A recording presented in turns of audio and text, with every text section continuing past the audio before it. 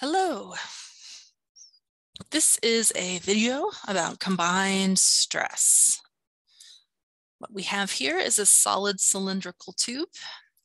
It has a diameter of 10 millimeters. Okay, I'm going to go ahead because I always do this as the first step. If I'm given a diameter, I just always stick with the radius. All right, so I've got a diameter of 10 or a radius of five millimeters. It's been bent at 90 degrees and it lies in the XY plane. So we have a planar structure in XY with one bend in it, one 90 degree turn. We've got two forces applied, one, two. We also have a, a moment or a torque that is applied about X. This picture right here is just a zoom in of this slice. So that's like a little DX slice at that cut plane. And we've got four points A, B, C, and D as shown. And we, we, what we would like to do is compute the combined state of stress at A, B, C, and D. For all of these combined loads, combined stress problems, basically there's two parts. Your first part is the statics. Um, and I'm going to do that up here. So statics work. More specifically, we're doing the equations of equilibrium. And the second step is your stress analysis. That's interesting. Okay, I'll put that over here. So stress analysis will be the second part of our problem. And we'll do that over here in the left column. Okay, and all of these other picture pictures on the screen, this is just where we're going to illustrate all of those stresses at points A, B, C, D on the stress cube. All right, let's start off with our statics work. So we want to run through all six equations of equilibrium. I'm going to do this pretty quickly. If you want a more thorough review, there's another tutorial posted, 36A, that will give you a more thorough review on that.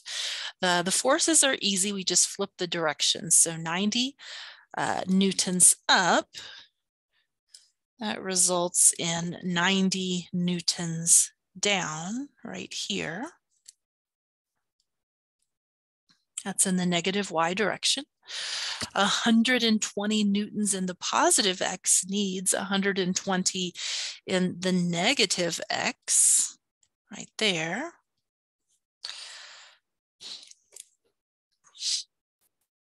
And we do not have any forces applied in Z, so I'm not going to show a Z direction force on this picture.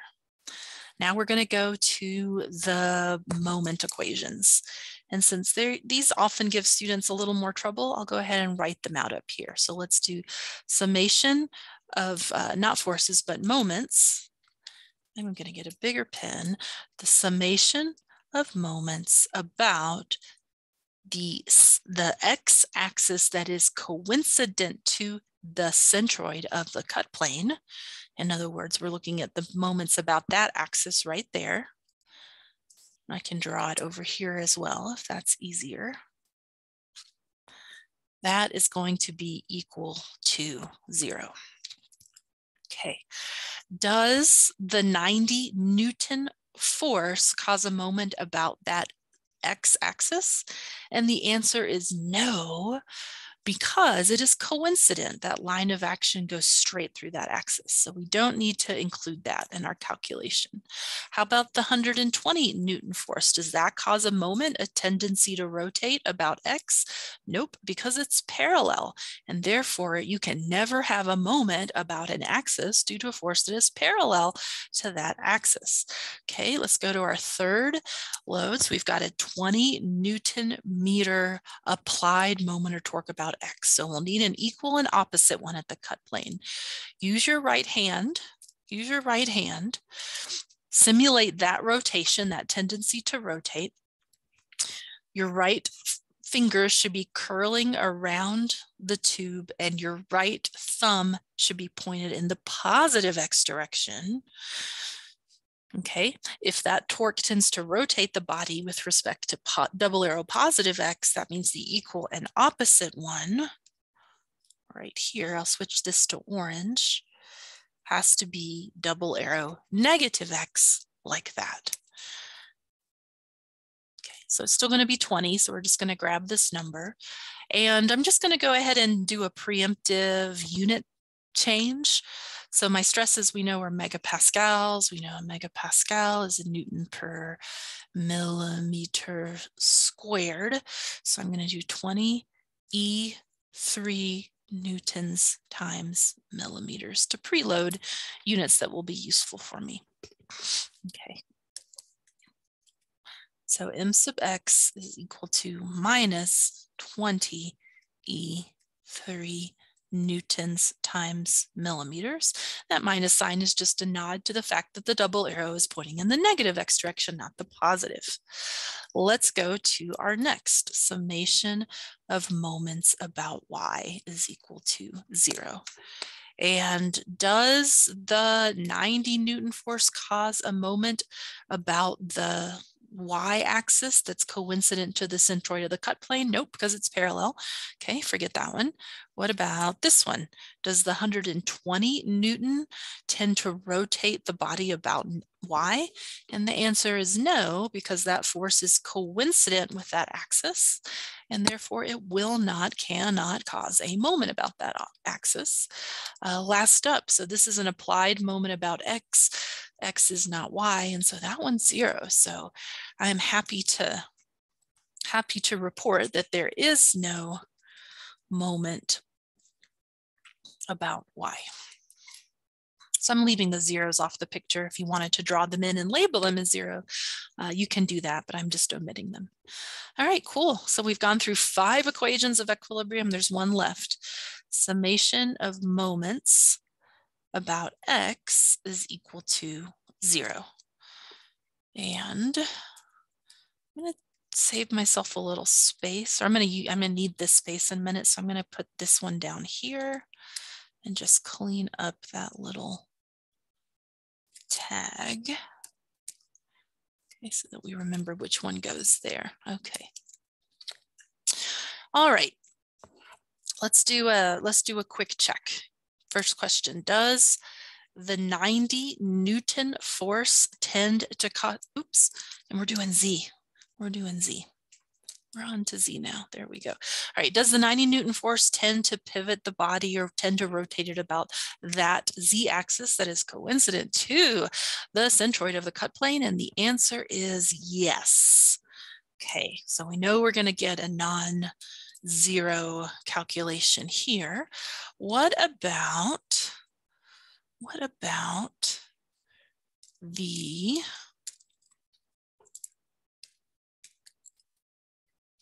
really interesting. There we go. What about the 120 Newton force? Does that one tend to rotate the body about this z-axis? And the answer is yes, right? Because it's perpendicular to that axis. It runs in that direction. It's offset by that amount. So that one's going to be in play too.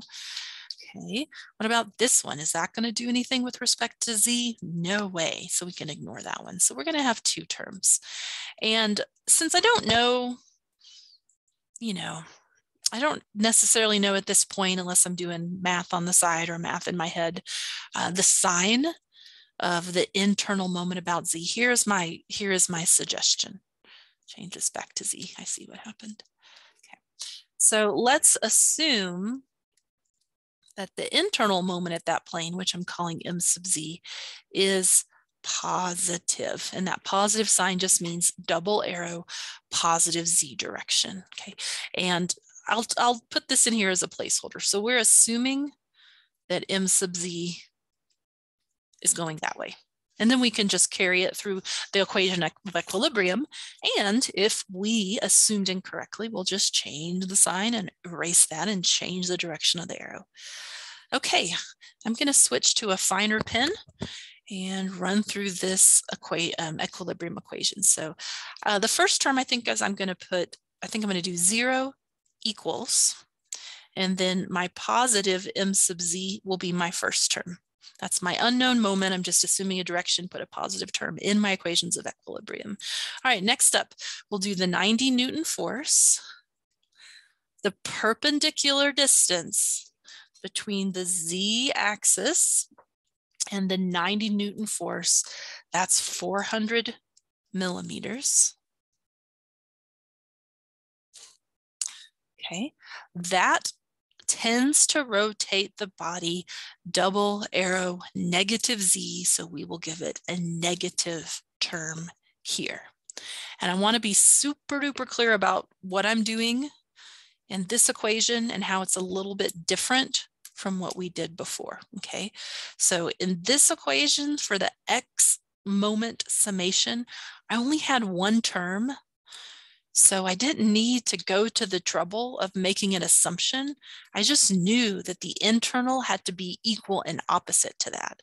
I could do that one without writing it out as a more formal equation but there's a little more complexity with respect to z. So here I'm going to write out the full equation, put all my terms in there, assume this is positive, do the math, and let the math bear out the solution.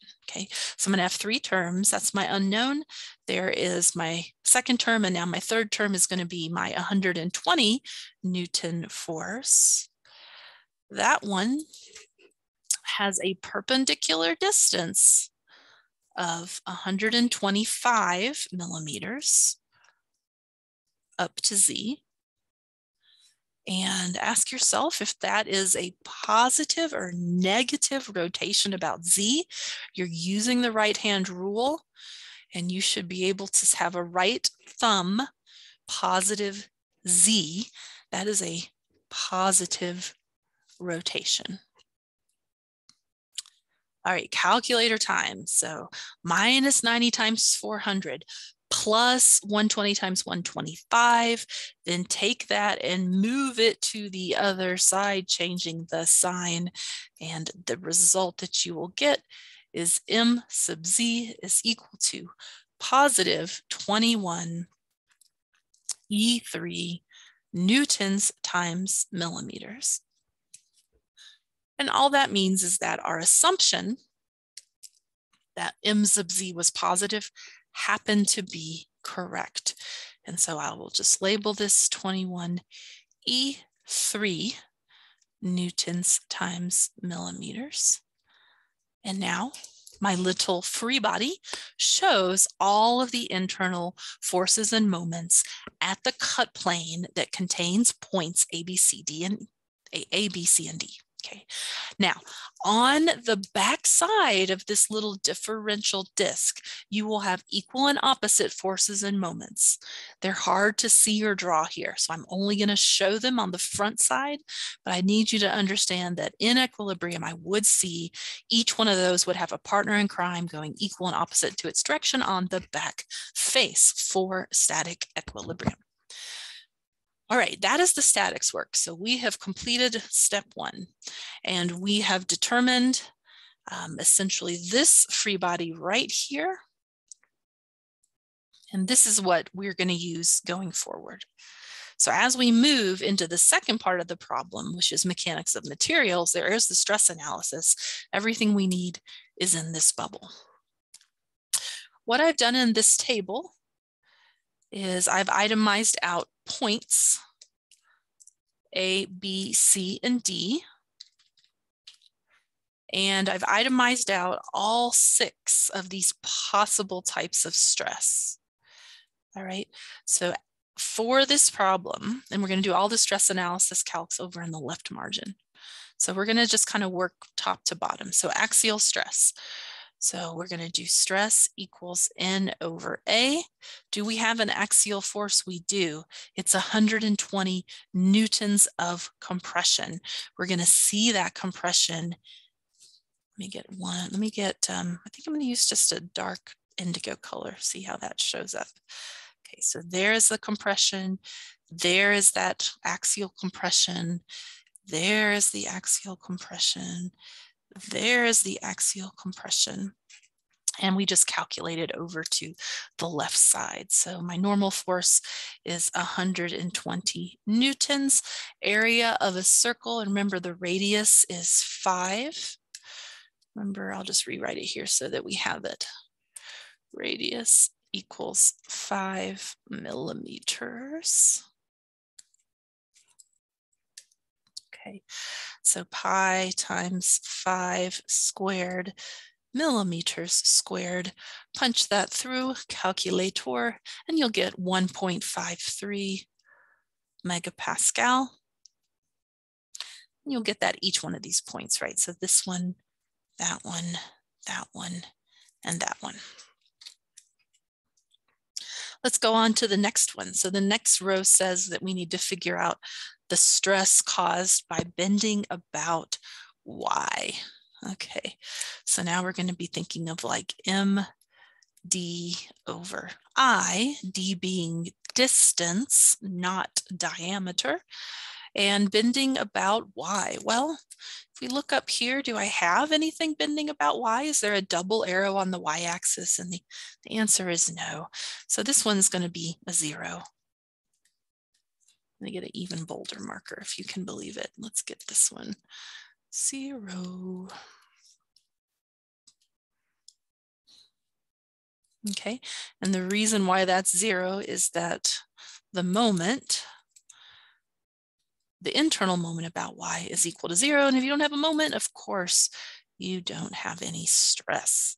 All right, let's go to the next line of our table, the next row of our table. And the next row says, what stress is caused by bending about z? Do we have an m sub z? Yep, we sure do. There it is right there. All right, so we're going to use that same equation stress equals m moment, d distance over i moment of inertia about the axis of bending. And we're going to plug in a moment of 21 E3 newtons times millimeters. Okay, now if my axis of bending is Z here, then points B and D are going to get zero stress. Points B and D will get zero stress. Points A and C are located at a distance of radius r, five millimeters from the axis of bending. I'll plug that five millimeters into my equation. In the denominator, the moment of inertia for a solid cylinder is pi over four radius to the fourth. Remember not to get mixed up between the I moment of inertia and the J polar moment of inertia. They are not the same thing and they have different formulas. Okay, so we're going to run that through our calculator and we will get a stress of 213.9 megapascals. Now we need to figure out um, where the tension is, where the compression is, and direction. Let's do direction first. So is it X, Y, or Z? And the answer is this will be a stress in the X direction because X is the axis normal or perpendicular to the cut plane, or it is the longitudinal axis for the portion of the member we're interested in. All right, now we got to use our right hand rule to figure out where the tension is, where the compression is. So what we need to do is look at this free body. Imagine stabilizing the back face with your left hand um, with your right hand, use the right hand rule, and I want you to rotate the front disc about that axis. What you should see is A kind of going into the page there, C coming out of the page here. We could try to sketch that. It's really kind of hard to do, but it could look something like that. Hopefully you can kind of see what I mean by that. Anyway, since A is going into the page, that is compression. So point the arrows toward the body.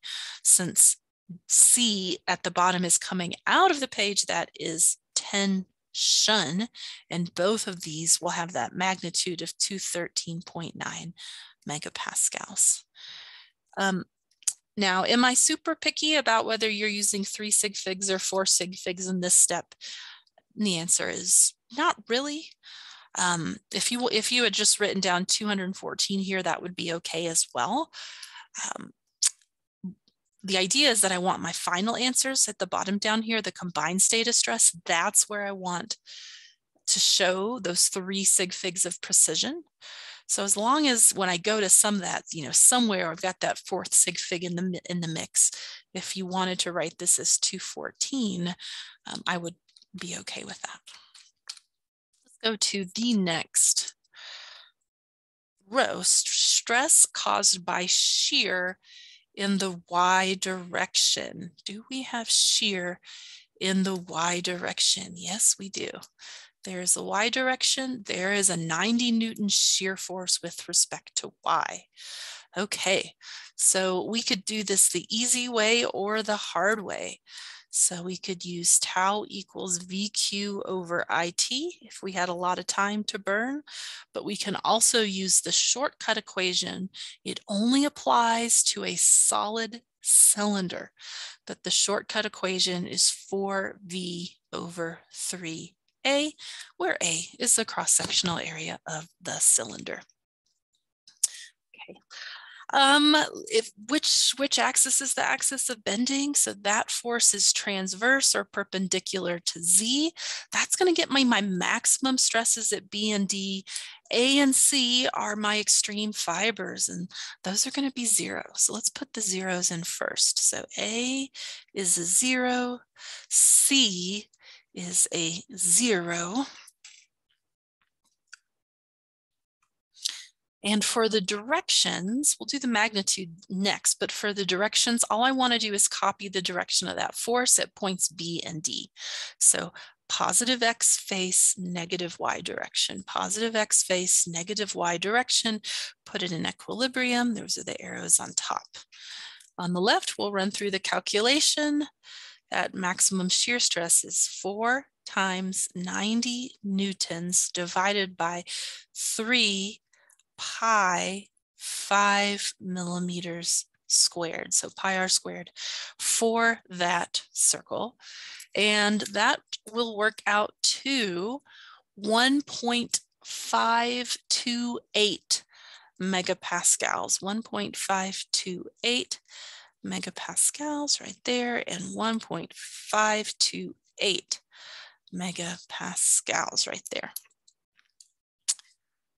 All right, almost there. I'm going to zoom out to get to the next row of my table.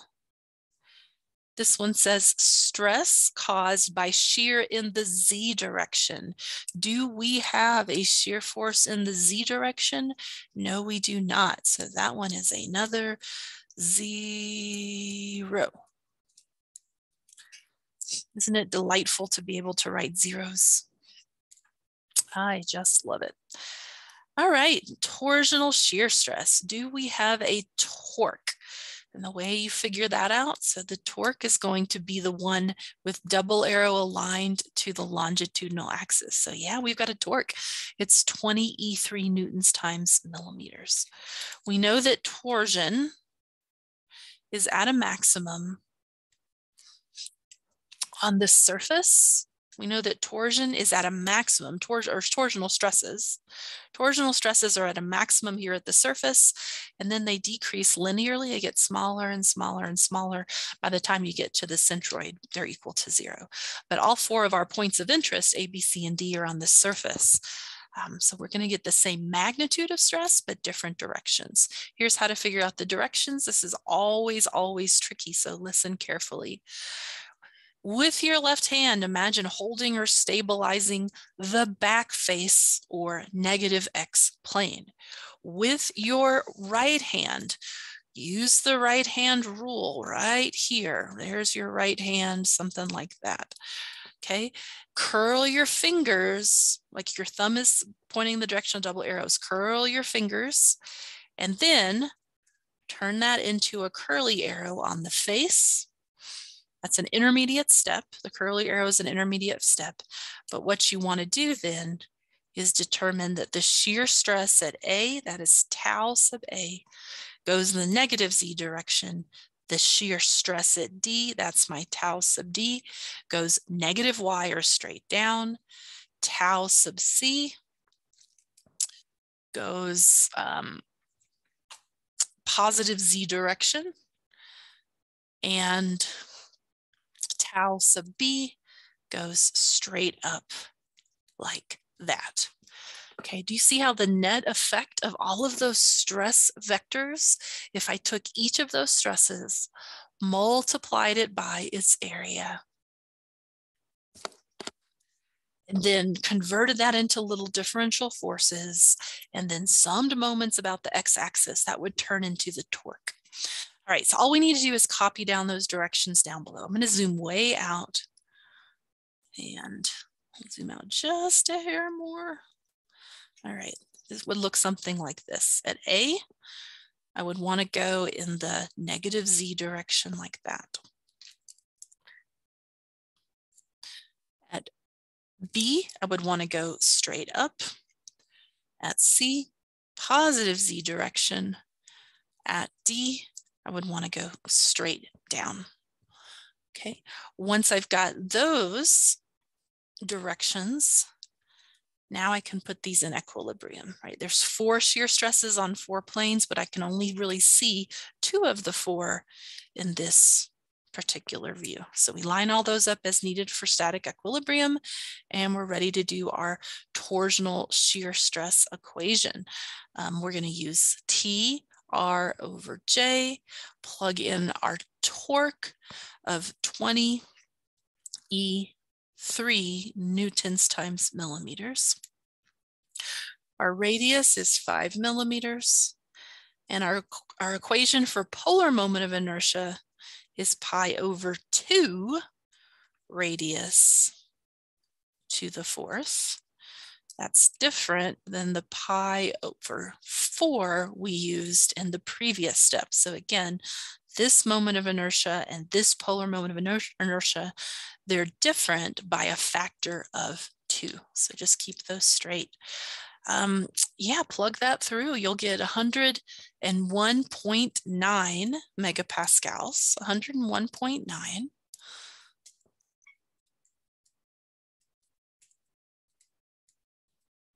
Same magnitude, just different directions all the way across. And at this point, we can conclude this problem just by summing vertically. So with combined stress problems, we divide and conquer. Now, step one is the static. Step two is the stress analysis. Do all six little pieces individually, and then we superimpose or sum up the results. So let's get column A. If I can see all of this. Okay. For column A, I've got 1.53 of compression. I've got more compression here, 0, 0, 0, and some shear stress. So that's going to net a total compressive stress in the x direction. That should sum to 215.5. I'm going to go ahead and just make that 216 for my final answer to 3 sig figs. And then I want to show those shearing stresses. And to show that to three sig figs, I'll bump it up to 102 megapascals. Okay, next column. So I've still got 1.53 of compression, zero, zero, zero. Okay, so that's gonna be easy to add in.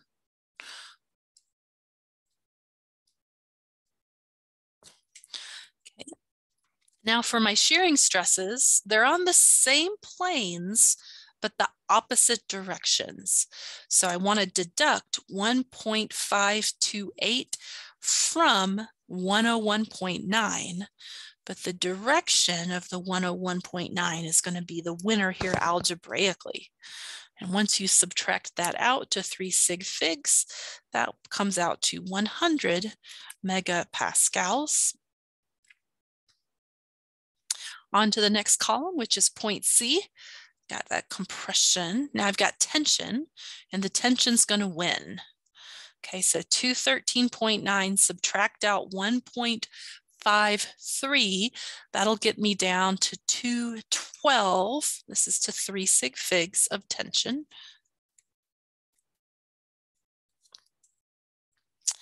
Okie doke got a zero, a zero, a zero, but I got a shear stress here. We can just copy it down, same plane, same direction, and label 102 megapascals to three significant figures. Lastly, we go to column D. I've still got compression, zero, zero, zero, and two shear stresses. Okay, so let's put that compression in here. 1.53 megapascals. Our shear stresses, they are on the same planes. That won't always be true. Okay, that won't always be true, but it is true in this problem. Same planes and same direction. So we can just add up this little one 1.5 and then this big one 101.9 match that direction. Those sum up to 3 sig figs as 103 megapascals. All right. Big big big problem here right? Lots and lots of steps lots of stuff that we've learned coinciding but the big steps are number one do your statics, double check, triple check, quadruple check this nine times out of 10, and maybe 99 times out of 100.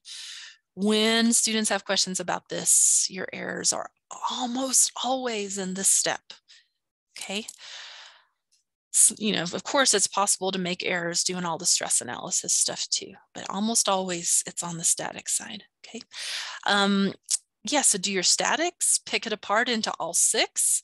Whenever you get a zero, be happy about that. So happy, happy, happy, happy, happy, and happy.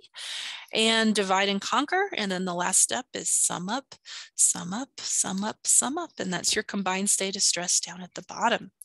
Uh, thanks for tuning in. I hope this was helpful. Have a great day.